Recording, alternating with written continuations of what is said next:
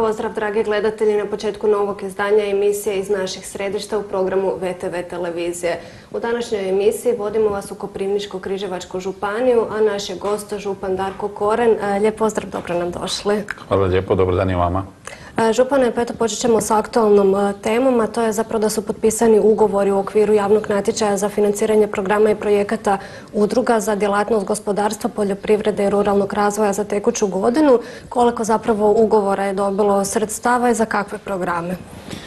Pa mi već evo nekih desetak godina prakticiramo tako vid suradnje sa našim udrugama i nastupe na raznim manifestacijama pod okriljem Koprivničko-križevačke županije. U tih nekakvih deseta godina oko 2 miliona kuna je e, iz županijskog proračuna izdvojeno za sufinanciranje njihovih programa. U ovoj 2017. godini predviđeno 400 tisuća kuna e, na programe 30 udruga sa 40 programa koliko ih je ove godine e, apliciralo. Dakle, danas smo potpisali te ugovore i ja vjerujem da je to jedan nastavak suradnje sa njima, prvenstveno po pitanju nastupa na našim manifestacijama, obrtničkom gospodarskom sajmu, danima travnjaka, e, još nekim manjim e, priredbama u Županiji, ali isto tako i nastupima na razno raznim manifestacijama van granica naše županije. E, kažem, 30 udruga je tu e, prisutno, možemo možda izdvojiti udrugu Orača, jer su oni najviše sredstava iskoristili e, svih tih godina, prije svega za kupnju novih natjecateljskih plugova, s kojima su ove godine nastupili na svjetskom prvenstvu, jer je prvak Hrvatske iz naše županije nastupili u Engleskoj i isto tako je plan u ovoj godini svjetsko prvenstvo u Africi, u Keniji. Tako da Evo, to je jedan primjer, iako naravno sve ostale udruge e, prisutne na današnjem potpisivanju zaslužuju da ih se spomene posebno. Kažu zapravo baš evo iz udruge Orača, ali brojne udruge kažu da zapravo ne bi mogli opstati bez ovakve vrste pomoći. Pa sigurno da bi to bilo jako teško ili teže i to i je smisao ovih programa na koji se oni jave. E, mislim da je e, izuzetno bitno da, je formirano jedno stručno povjerenstvo za ocjenu tih programa i samo na temelju njihove ocjena e, upravni odjel za gospodarstvo, poljoprivredu, ruralni razvoj i turizam raspored sredstava na taj način donosi. Ja ga samo potpisujem. Mnoge udruge, naravno, zbog skromnih svojih proračunskih eh, prihoda sigurno bi teže ili nikako egzistirale tijekom godine, tako da evo, mislim da je ovo hvale vrijedan jedan eh, program. Jedan, jedno od događanja koje je svakako obilježilo razdoblje koje je iza nas je otvorenje novih belupovih tvornica. Vi ste mu prisustvovali. koliko je zapravo važnost ovakvog jednog događanja za županijsko gospodarstvo?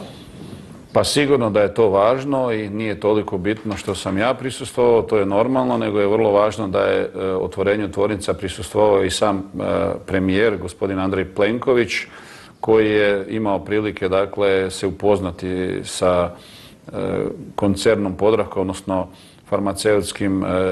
farmaceutskom divizijom Belupo, u okviru kojeg je ta investicija e, vrijedna 530 milijuna kuna, zaista jedan veliki iskorak u povećanju gospodarske aktivnosti, isto tako u smislu zapošljavanja, 200 novih radnih mjesta je tu otvoreno.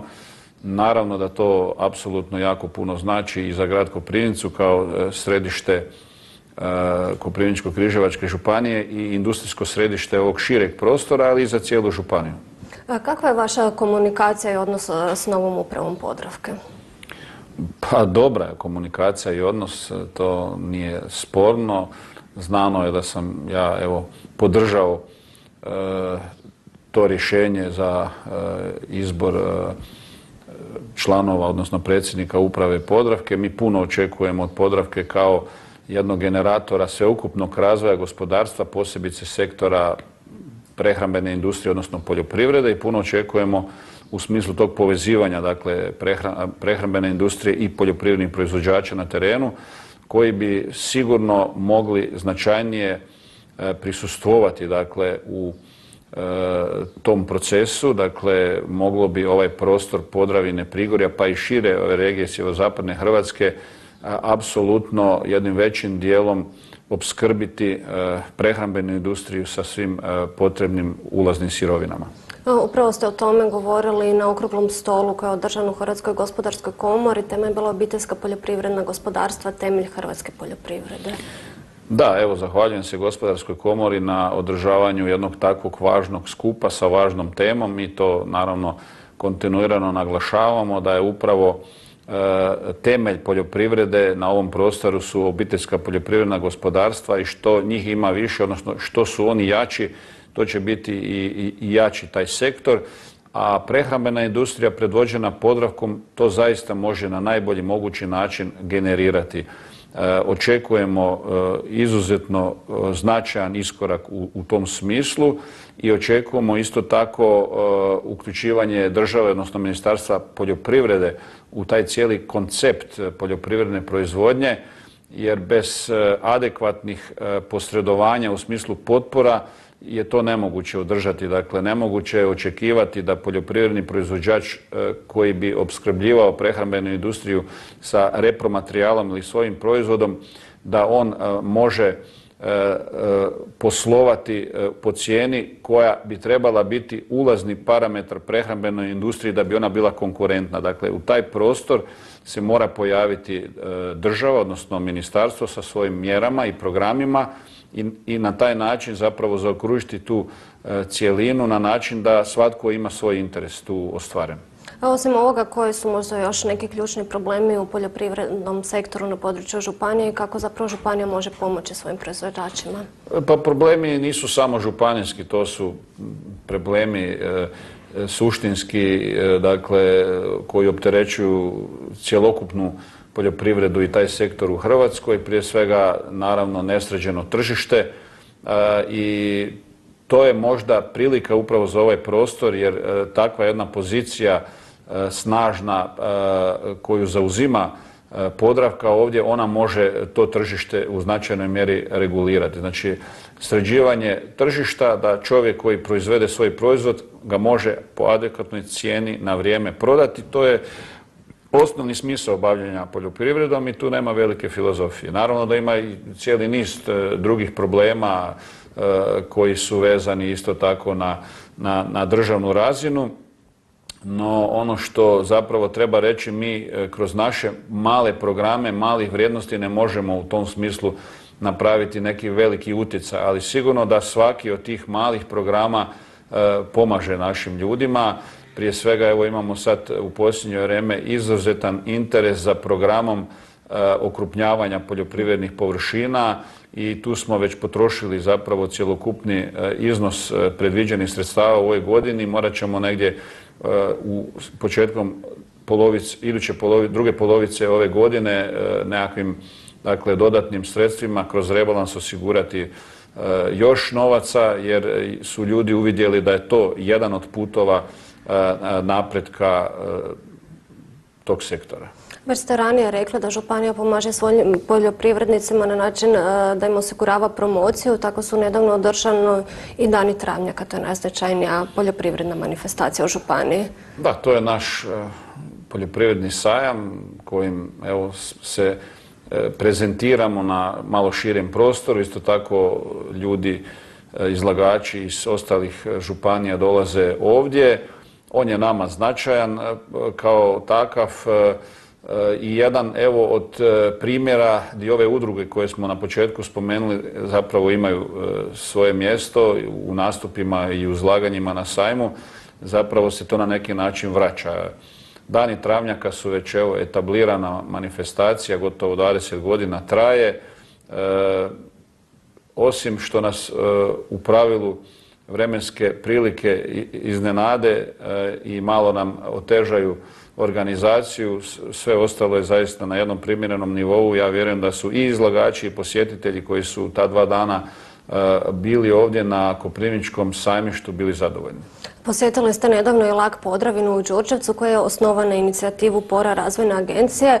Zapravo je riječ o jednoj od pet lokalnih akcijskih grupa koje djeluju na području Županije. E, koliko je zapravo važan ovakav način udruživanja? Pa lagovi su prepoznati, dakle, i u Europskoj uniji, ali i u Hrvatskoj pristupom toj Europskoj uniji kao jednom, jedno, jedno od alata kojima se uspješno zapravo savladavaju te prepreke i na koji zapravo pomažu i e, OPG-ima, ali i malim e, poduzetnicima i obrtnicima. Lag Podravina, kao što ste rekli, jedan je od pet lagova koji djeluje na području naše županije, najveći je obuhvaća najveći e, broj općina e, koji, e, koji su osnivači i ovog trenutka, dakle od ukupna 54 laga koliko u Hrvatskoj postoje, oni su bili negdje 12 registrirani, znači da smo na vrijeme krenuli sa tim i slušajući dakle njihovu prezentaciju, aktivnosti i rezultate možemo zaista zaključiti da je njihovo osnivanje i njihov rad zaista dobar i opravdan i evo pohvaliti ih i željeti im da samo tako nastave kao i ostala četiri laga koja kažem djeluje na području Županije.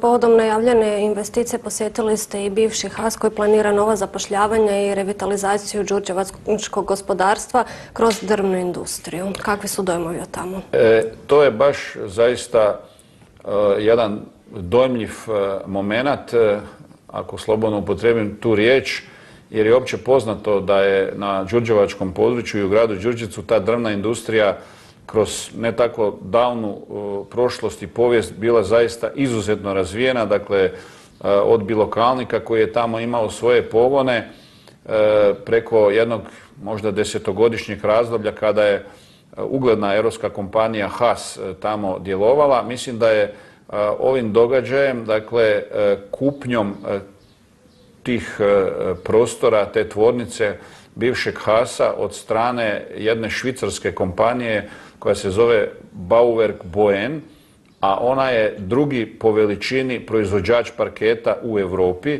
i osim sjedišta i proizvodnje u Švicarskoj ima svoje proizvodne pogone u Litvi. Dakle, i velike ambicije ulaganja i proširenja kapaciteta ovdje u Hrvatskoj u Đurđevcu. Dakle, mi smo posjetu toj tvornici dali naravno i njima određenu podršku, iako smo to učinili i prije, ali smo zapravo evo e, saznali koji su njihovi planovi danjeg razvoja i proširenja kapaciteta i broja radne snage i to nas zaista može učiniti vrlo zadovoljnim. Tamo će po planu, dakle do 2018. godine E, raditi 250 ljudi sa tendencijom dakle još danjeg ulaganja i proširenja u te kapacitete. E, oni su jako zadovoljni e, sa općim dakle prilikama ovdje u Hrvatskoj od činjenice da je Hrvatska odnosno naša županija izuzetno bogata sa drvnim metatom i dakle tom ulaznom sirovinom do toga da zaista postoje E, kvalificirani ljudi u tom sektoru koji je inače teško naći, ovdje su evo e, prirodno dakle već postojali. e, zbog toga što je drvna industrija i ranije bila zastupljena značajno, tako da je i njihov evo ukupni zaključak i dojam pozitivan sve ovo vrijeme od kako su ovdje i evo dogovorili smo apsolutnu podršku s naše strane u svakom smislu, dakle e, želimo da ta priča ide u ovom pravcu kako nam je prezentirano. 9. svibanj, odnosno Dan Europe, obilježili ste na način da ste u suradnji sa PORA razvojnom agencijom predstavili aktualne projekte koje su odobreni na prvom pozivu Interreg programa prekogranične suradnje Mađarska-Hrvatska. Koliko su tu bili uspješni projekti s područja Županije? Pa puno je to projekata. E, dakle, u nekih 50 projekata e, se radi. E, u značajnoj mjeri je dakle, PORA bila uključena u te programe. Ne možemo sad trenutno procijeniti koliko će od svega toga biti realizirano, ali u svakom smislu e, smatramo da smo jedna od aktivnih dakle, županija u tom dijelu dakle, prekogranične suradnje i naša pora razvojna agencija je u, u, tom smislu dakle, imala jednu zapaženu ulogu kroz koju će se naravno jedan dobar dio tih ulaganja i vratiti. Ono što često ističemo, zapravo koliko je županija aktivna i u Savezu Alpe Adria, ponovno su odobrena sredstva za projekte s područja županije. Da, mi smo e, članica tog Saveza Alpe Adria kao jedna od hrvatskih županija i mislim da smo od svih najviše zapravo aktivni, odnosno najviše smo njihovih sredstava iskoristili, iako su to programi malih vrijednosti, jer je njihov sveukupni budžet nekih 50 tisuća eura. E, dakle, mi smo e, gotovo pola tih njihovih proračunskih sredstava za programe iskoristili. Jedan od programa kojeg ste spomenuli je dakle i taj Srce naive, Alpe Adria, prisustvovali smo njihovoj dakle koloniji i e, konferenciji, isto tako izložbi e, našeg poznatog slikara Zlatka Štrfičeka u Hlebinskoj galeriji. Mislim da je to evo jedan lijepi događaj u ovoj županiji. Rekli ste mali iznos, ali sigurno ovim udrugama puno znači svaka vrsta Pa naravno, kao i ovo što smo danas evo svjedočili potpisivanju tih e, ugovora za subvencioniranje programa udruga, E, teško je danas e, dakle djelovati u bilo kojoj takvoj udruzi i svaki najmanji iznos od 5 ili 10 tisuća kuna njima je puno, tako da je i ovaj vid potpore dakle pojedinim e, programima, prije svega evo iz kulture, kroz naivu ili kroz dakle udruge vinara, vinogradara, izuzetno značajan, vrijedan i mislim da doprinosi dakle tom jednom ukupnom angažmanu udruga. Alpe Adria Srce Ive sudjelovalo je četrdesetak domaćih i stranih umjetnika. Koliko je zapravo uh, važan taj projekt za promociju Naive kao turističkog brenda? Pa evo, jako se puno radi na tome. Malo prije, dakle, izuzetno nas to raduje da je ta naša, uh, zapravo to naše stremljanje promociji naive kroz razne programe prepoznato van granica lijepe naše i da se sad zapravo događa taj povrat E, tog nekakvog ulaganja. Mi smo i kroz projekat Pisanica od srca zaista ovih deset godina jako puno napravili na promociji naive kao vrste umjetnosti, isto tako u promociji naravno ovog područja e, županije, odnosno Podravine, gdje je ishodište e, te naive, prije svega u Hlebinama, ali i malo šire. Mislim da smo, kažem, opravdali sva ta ulaganja, ali to je možda i pitanje za naše naivne umjetnike koji sigurno znaju e, kvantificirati e, tu našu zapravo ulogu, odnosno sva ta naša nastojanja da e, ponovo vratimo interes za naivnu umjetnost. Županija će se uskoro promovirati kroz cikloturizam. Naime, od Ministarstva turizma Županija je dobila 350 tisuća kuna za razvoj ovog projekta. Mi smo jedna od kontinentalnih županija koja je prepoznala zapravo e, tu ideju koja je nastala, ja vjerujem, u Ministarstvu turizma, a radi se o tome da je ovaj taj kontinentalni dio u što zaista mi e, prioritetno pripadamo, da je prepoznat e, kao rođen i Bogom dan za upravo taj vid turizma, dakle taj biciklistički turizam ili cikloturizam. Koprivničko-križevačka županija poznata je po E, biciklizmu i po cikloturizmu već i do sada i kroz naše biciklističke staze i kroz razne programe i udruge koje postoje ovdje u Koprivnici i šire. E, prihvatili smo odmah e, tu priliku, kandidirali se za taj projekat i evo ostvarili njegovu realizaciju, dobili 350 tisuća kuna kojim će se napraviti potrebna dokumentacija koja će biti temelj za razvoj tog vida turizma. Kad govorimo o turizmu, jedan od turističkih potencijala su svakako i kvalitetna vina i autohtona gastronomija. Sve to objedinjeno u projektu Eno Gastrovodić Podravini Prikorja. Je, upravo smo ga jučer predstavili. Na njemu je evo sudjelovao jedan respektabilan broj svih onih koji zaista egzistiraju u tom sektoru na području ove županije.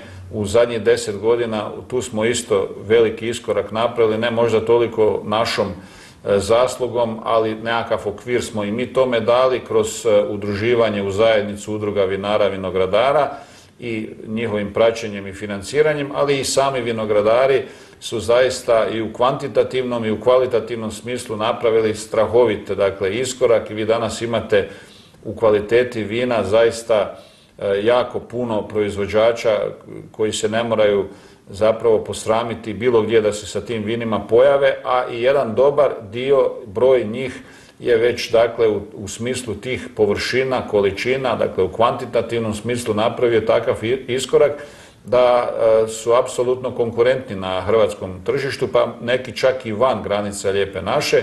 Mislim da je to sektor u, u agraru koji je najviše napredovao zadnjih deset godina.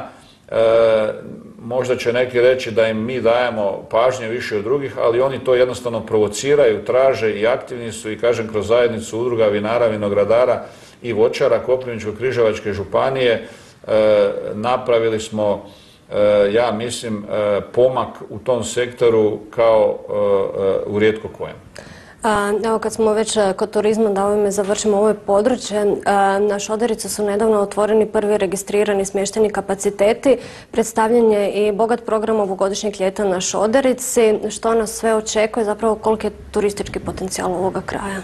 Pa Šodericu doživljavamo kao jedan neiskorišteni potencijal i to smo u zadnje tri godine nastavili promijeniti. Ja mislim da smo u dobrom dijelu već i tome uspjeli, iako je to zapravo otvoren prostor za, za još e, veliki napredak. Nekakvih 14 programa mislim da je predstavljeno na toj e, promociji ljeta na Šoderici koja počinje e, trećeg, dakle šestog. I ja vjerujem da ćemo evo s našeg aspekta dakle podupiratelja mnogih od tih programa opravdati njihova očekivanja, ali opet kažem ovisi sve i organizatorima tih E, priredbi i programa. Ja se nadam da će to i ove godine biti uspješno. Općina Legra također je tu uključena. Nadam se da će nas i lijepo vrijeme popratiti e, kroz ljeto i da će uživati u programima e, ljeta na Šoderici svi oni koji se tamo u tom periodu pronađu. S ovim prvim ljepšim proljetnim danima započeli su radovi na dogradnji područne škole u Peterancu, time zapravo nastavlja Županija svoj ciklus ulaganja u školstvo. Je, mi smo zaista puno u školstvu uložili, ali o tome sam ja i puno pričao. U zadnje četiri godine preko 50 milijuna kuna vlastitih izvornih sredstava. Ove godine planiramo dakle dva manja projekta jer smo još uvijek e, u nekakvim dakle zaostacima i od e, ulaganja u prošloj godini, tako da je dogradnja škole u Peterancu bio jedan od naših dakle E, prioriteta, tim više što se i općina Peteranec uključila sa sufinanciranjem od 750 tisuća kuna, a drugi važan projekt u školstvu u kojem smo ove godine to je dakle rušenje dijela zgrade škole u Svetom Petru Rehovcu koje je zbog klizišta se pomaknuo i kojeg je prosvjetna inspekcija zapravo zatvorila i zabranila rad e, i ulazak u njega. Dakle, to je investicija gotovo 4 milijuna kuna vrijedna u koju smo ugradili i sufinanciranje Ministarstva regionalnog razvoja sa 850 tisuća kuna, tako da je to jedan od naša dva temeljna kapitalna projekta u ovoj godini. E, u Peterancu se već počelo raditi, u Svetom Petru Reovcu se evo 27. ovog mjeseca e, potpisuju ugovori sa izvođačem i vjerujem da i siguran sam zapravo da će do početka sljedeće školske godine taj dio zgrade i ti prostori biti na raspolaganju dakle svima onima koji će u njih ući, učenici i učitelji. Treći projekat koji planiramo ove godine je projekat dogradnje prostora i uređenja knjižnice u osnovnoj školi u Molvama. I isto tako planiramo dva energetska projekta, to, je, to su osnovne škole u Viriju i u Drnju, tako da evo i 2017. godina bit će ispunjena e, našim dakle, kontinuiranim ulaganjima u školstvo i projektima koji su nam prioriteti. Otvaranjem dječjeg igrališta u sklopu nove škole u Cirkvini dovršen je i taj veliki kapitalni projekt. Pa to je jedan simboličan čin, evo, dovršetka dječjeg igrališta u školu. Otvorili smo tu školu, dakle, prije godinu dana, e, nova, lijepa, mala područna škola u naselju u kojem na svu sreću ima dovoljan broj djece da ona i tu fizibilnost na neki način opravda, iako naravno da to kroz to nikada ne gledamo. E, to je bila investicija od 7,5 milijuna kuna evo završetkom dječjeg igrališta, postavljanje opreme na njega i srtavanjem e, dakle, tog igrališta završena je ta investicija u punom smislu. Nekoliko ste puta naglasili, sad ste rekli zapravo da je ulaganje u školstvo e, je prioritet, ali da to smatrate najvećim uspjehom aktualne županijske vlasti, pa eto možda još koji su dugoročni planovi kad je reč o ulaganju u ovaj sektor? Da, mi nažalost e, ne možemo pratiti financijski kroz naš proračun sve one potrebe koje postoje i koje će uvijek postojati u sektoru obrazovanja unatoč činjenici kažem da se jako puno uložilo i vlastitih proračunskih sredstava, kažem oko 50 milijuna kuna vlastitih u zadnje četiri godine i oko 155 milijuna ukupno u zadnjih osam godina. Mi i dalje imamo dakle planove i prioritete u tom sektoru. Imamo pripremljene dokumentacije za nekih 12 projekata e, koje planiramo naravno kandidirati kad se god prva prilika za to pojavi, da li kroz e, nekakve fondove Europske unije za što sada nije moguće kandidirati školske objekte jer je tako ispregovarano sa Europskom komisijom i tek 2018. godine Hrvatska može sa Europskom komisijom revidirati te sporazume i vjerujem da će tako i biti i da će nam biti onda omogućeno korištenje europskih fondova za investicije u školstvu. Sve dotle smo osuđeni dakle na ono što možemo sami, a to je jako malo. E, program javno-privatnog partnerstva koji je bio neka alternativa za sad je u nekakvom status quo e, dakle stanju kad govorimo dakle o onima koji o tome odlučuju. E, u proračunu državnom, u Ministarstvu prosvjete sigurno ne postoje sredstva za te investicije, ali kažem, sigurno ćemo biti spremni kad se god otvori kakva mogućnost e, za financiranje tih projekata. 12 projekata, ukupno preko 200 milijuna kuna vrijednosti i prednjači e, obrtnička škola u Koprivnici, zgrade gimnazija u Križevcima Đurđecu, osnovna škola u Koprivničkom Ivancu sa dvoranom, isto tako još pet ili šest sportskih dvorana u našim općinskim e, dakle, središtima. Mislimo da je to zaista jedan onako kompletan e, e, pripremljen investicijski ciklus koji samo čeka start. Osim školskih objekata, tu su i druga ulaganja u školstvo, primjerice škola plivanja za učenike trećeg razreda, a tu je i financijski izdašan projekt financiranja prijevoza učenika. Hoće li se to nastaviti? Kakvi su planovi? Mi naravno imamo ambicije da nastavimo svim tim programima i koliko će to proračunske mogućnosti osigurati, tako će i biti. Sigurno smo županija koja najviše novaca ulaže uh, u sufinanciranje prevoza učenika, prije svega srednjih škola, dakle oko 6,5 milijuna kuna na razini godine je to sada bilo. Više nismo u mogućnosti toliki iznos uh, osigurati i sa prevoznikom i nekim drugim modelima smo taj, to taj iznos ulaganja malo umanjili, no međutim još uvijek kada se god to zbroji najviše ulažimo vlastitih prihoda u to. E, vjerujem da ćemo uspjeti i u ovoj idućoj školskoj godini održati tu razinu potpora zbog naravno ovaj budžeta e, naših građana, roditelja koje svoju djecu evo školu. To je zapravo direktna pomoć To je direktna pomoć. Vi možete e, znati da je nekakva prosječna mjesečna karta gotovo 1000 kuna, dakle kad nekome dade, dadete ovaj 900 od toga, a on plati samo 100, ja ne znam koja bi bila direktnija pomoć svakom kućanstvu. Što se tiče škole plivanja, mi financiramo dakle, i taj e, jedan segment e, smatramo potrebne životne edukacije e, svim dakle, učenicima trećih razreda osnovnih škola. To je nekakvi iznos od 100.000 kuna na razini godine i to ćemo sigurno održati i dalje. Uz školstvo, jedan od prioriteta u jednoj području koje se najviše ulaže je svakako zdravstvo. Koje biste investicije ovdje izdvojili?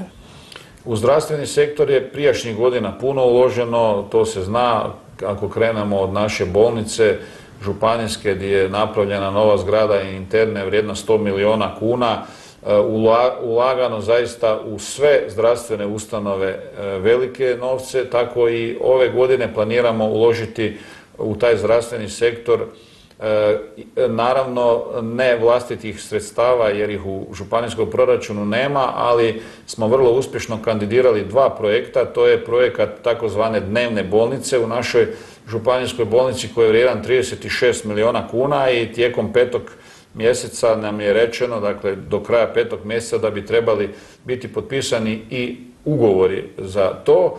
Dakle, to je gradnja novih prostora, takozvane dnevne bolnice sa još mnogo opreme koja je potrebna bolnici, a drugi projekat je u domu zdravlja, ulaganje u takozvane male ambulante, seoske ambulante za e, evo, poboljšanje te dostupnosti zdravstvene zaštite, to je projekat vrijedan 8 miliona kuna i on isto evo, planira se započeti kroz neki mjesec dana. Evo još za kraj da vas pitam, osim školstva i zdravstva, što biste rekli što je još obilježilo mandat koji je na odmaku? Pa čujte, naravno da je gospodarstvo uvijek u fokusu, koliko e, su zapravo županijski proračuni raspoloživi, tu su sigurno potpore maksimalne i u gospodarstvu, a posebice u, sektoru poljoprivrede, o tome sam već govorio na početku. E, socijalna skrb je također jedan segment koji je nama izuzetno bitan, dakle od našeg doma za starije nemoćne, ali i subvencija smještaja u svim ostalim domovima, subvencije koje zadovoljavaju dakle program koji za to predviđa. E, isto tako, naravno, sufinanciranje tih programa u sektoru socijalne skrbi kao što je pomoć u kući starijim nemoćnim osobama, gdje takozvane gerontodomaćice dolaze kod njih i pomažu u svakodnevnom životu. Isto tako postoji cijeli niz projekata još u školstvu, ruka pomoći i tako dalje. Veliku pažnju naravno usmjeravamo u civilni sektor, evo mogu spomenuti vatrogastvo kao jedan od zaista naših temeljnih e, interesa zbog toga što smo mi najvatrogasnija Hrvatska županija, zato što imamo najveći broj vatrogasaca na e, broj stanovnika, ali i drugi dakle e, segmenti civilnog društva. Sport je tu izuzetno nama važan, ulažemo kroz zajednicu sportova puno novaca za naše prilike koliko zapravo možemo ulagati i nismo smanjivali te proračune E, svih ovih godina kada su mnogi to činili. Tako da ima jako puno područja gdje smo angažirani i gdje pomažemo ljudima koliko god se može. Što će onda biti prioritet u narednom razdoblju? Sve to. znači nastavit će se Sve to, da, naravno, evo ponavljam, nama je obrazovanje tema broj jedan, preko 60% županijskog proračuna se troši na sektor obrazovanja jer je to i po defaultu nekakvome zapravo glavna uloga županije. Dakle, školstvo, zdravstvo, socijalna skrb, gospodarstvo naravno prije svega i ovo što sam spomenuo, dakle taj civilni sektor, praćenje svih mogućih vrsta i potpora ljudima koji žele nešto napraviti u okruženju, u zajednici u kojoj žive. E, župane, hvala vam lijepa na izdvojenom vremenu, hvala vam što ste bili naš gost. E, hvala i vam, dragi gledatelji, što ste ovoga puta bili s nama. Do sljedećeg druženja, doviđenja.